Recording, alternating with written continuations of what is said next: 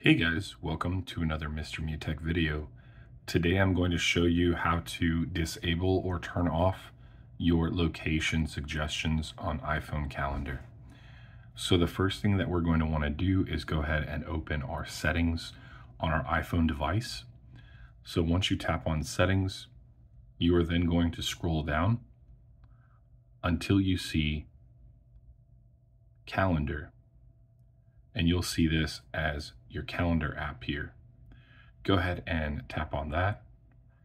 And then after you choose that, you're going to scroll down to the very bottom and you're going to see right under the default calendar option, an option for location suggestions. Go ahead and toggle this to off and moving forward, you will no longer have location suggestions on your calendar. Hopefully this was helpful for you guys, and if so, feel free to give me a thumbs up. Thank you so much for watching, and have an amazing day.